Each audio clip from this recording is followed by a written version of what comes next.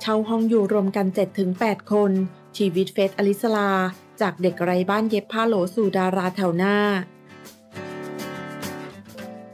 นาทีนี้คงไม่มีใครฮอตไปกว่านักแสดงมากฝีมืออย่างเฟสอลิสลาอีกแล้ว เพราะตอนนี้เจ้าตัวมีละครถึง 3 เรื่อง เรียกได้ว่าแฟนๆ จะได้เห็นหน้าเขาทั้ง 7 วันเลยทีเดียว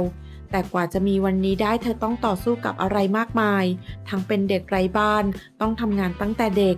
ถามว่าล่าสุดคือวิ่งงาน 7 วันรวด ไม่มีเวลาพักผ่อนเลย เฟสได้ตอบว่า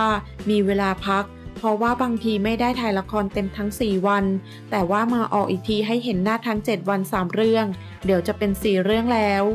ตั้งแต่ทำงานมาตอนนี้ถือว่าดีที่สุดไหมเฟสได้ตอบว่า ตอนถ่ายมันไม่ได้ถ่ายพร้อมกันนะ แต่มาออกอากาศพร้อมกันทีเดียวมันก็เลยทำให้คนได้เห็น ได้เห็นในหลายบทบาท ซึ่งตอนนี้งานก็โอเค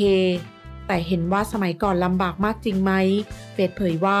ลำบากลำบาก แม่ก็ต้องเช่าห้องห้องหนึ่ง แล้วก็อยู่กันประมาณ 7-8 คน พอเช้าก็ต้องผัดกันเข้าห้องน้ำแล้วก็ไปโรงเรียน พอมาถึงวันหนึ่งพ่อเสีย แม่ก็เริ่มทำงานมากขึ้น จากขายของชำที่บ้านก็เริ่มรับจ้างซักรีด ขายข้าวต้ม คราวนี้เราก็ต้องเป็นลูกมือ ตอนเช้าแม่ก็ให้รีดผ้าก่อน เย็นกลับมาก็ซักผ้า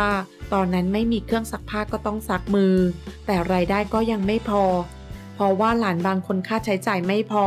เราก็ต้องทำอะไรมากขึ้น แม่ก็ขายข้าวต้มขายได้สักพักก็ไม่ไหวเหนื่อย ทีนี้แม่ก็รับจ้างซักรีด แล้วก็ขายของชำแล้วเราก็รับจ้างอย่างอื่นที่ทำอะไรก็ได้ เช่น เย็บกระดุมผ้าโหล ถ้าเสื้อแขนสั้นเราจะได้ 50 สตางค์ต่อหนึ่งตัว แต่ถ้าแขนยาวเราจะได้ 75 สตางค์พอหลังเลิกเรียนเราก็เย็บ พอกลางคืนเราก็รับจ้างล้างจานได้เดือนละ 800 บาท เมื่อถามว่าท้อไหม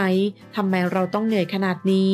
เฟสได้ตอบว่าไม่ได้ท้อเลยพอรู้สึกว่าแม่ทำทุกวันเราก็ทำ มันก็เลยรู้สึกว่ามีเวลาว่างปุ๊บก็ต้องทำ ทำไรก็ได้ที่มีรายได้ เห็นบอกว่าขนาดทำงานโหดๆยังไม่พอค่าเช่าห้องเลย มันไม่พอ ราะว่าต่อเดือนมีค่าห้อง ค่าน้ำค่าไฟ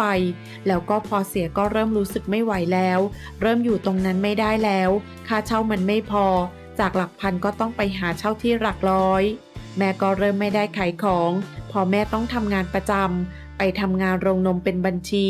แล้วก็ขับมอเตอร์ไซค์ส่งนม ทีนี้แม่ก็ต้องไปเช่าที่มันใกล้ๆกับที่ทำงาน ตอนนั้นก็มีห้องน้ำรวม เพื่อรอที่อยู่ที่มันมีห้องน้ำในตัวลำบากเรื่องที่พัก แล้วเรื่องอาหารการกินลำบากไหมเฟสได้บอกว่าสมัยก่อนตอนอยู่รวมๆกันเราไม่รู้สึกลำบาก แต่คนที่เขาฟังอาจจะรู้สึกลำบาก คือเมนูของเราก็คือผัดถั่วงอกเต้าหู้ขาว แล้วก็แตงกวาผัดไทยเต้าหู้ยี้ส่วนเนื้อสัตว์นานๆกว่าจะได้กิน ถามต่ออีกว่า มาคุยเรื่องเข้าวงการบ้างดีกว่า เห็นว่ามันเกิดขึ้นจากความไม่ตั้งใจจริงไหม เฟสได้ตอบว่า ใช่ บังเอิญมาก ต้องขอบคุณเพื่อน ตอนนั้นเพื่อนชวนไปสมัครเป็นนักศึกษาให้กับโครงการของค่ายมือถือค่ายหนึ่ง เพื่อนบอกว่าไปเถอะ ที่นี่เขามีเงินเดือนประจำ มีโทรศัพท์ให้ใช้ แล้วเราก็ทำกิจกรรมกับเขา เราก็ไปเป็นเพื่อน สรุปวันนั้นเพื่อนไม่ได้แต่เราได้ แล้วก็พอวันที่ไปทำกิจกรรมเราก็ไปเดินอยู่แถวหน้าตึก ไปเก็บขยะตามถนน ผู้บริหารเขาเห็น แล้วเขาจัดถ่ายโฆษณา เขาก็ไม่แคสใคร เขาก็เอาเด็กในกลุ่มนี้ไปถ่าย เราก็ได้เป็นหนึ่งในนั้น เมื่อถามว่าก้อนแรกถือว่าเยอะพอสมควร ฟสเผยว่า ก็เยอะนะ ประมาณ 8-9หมื่นได้ เราก็เก็บไว้เรียนแล้วก็ยังทำงาน ให้แม่เก็บไว้ส่วนหนึ่งเผื่อใครมีความจำเป็นก็เอาไปใช้ และจากจุดนี้อาตูเห็นก็เรียกมาเล่นละคร และหลังจากเล่นละครสักพักก็ไปเล่นหนัง ได้เงินก้อนใหญ่มาซื้อคอนโดให้แม่เพราะว่าไม่เคยมีบ้าน ซึ่งตอนนั้นยังซื้อบ้านไม่ได้ เพราะว่าการซื้อบ้านมันต้องใช้เงินเยอะ แล้วหลังจากนั้นก็ไปซื้อเทาวน์เฮาส์แต่ก็ไม่ได้อยู่ก็ขาย ถามว่ามีคนสงสัยทำไมไม่มีแฟน เฟสได้ตอบว่า มีก็มีแฟนผู้ชาย เราก็ไม่ได้ปิดบัง แต่เป็นคนมีพื้นที่ส่วนตัว ไม่ได้แผนว่าเมื่อไหร่จะเปิดตัว ไม่ได้คิดว่าจะต้องมาแต่งงาน ชีวิตความสุขเรื่องของความรักมันไม่ได้เริ่มที่ชุดแต่งงาน เราคิดแบบนี้ เขาก็โอเค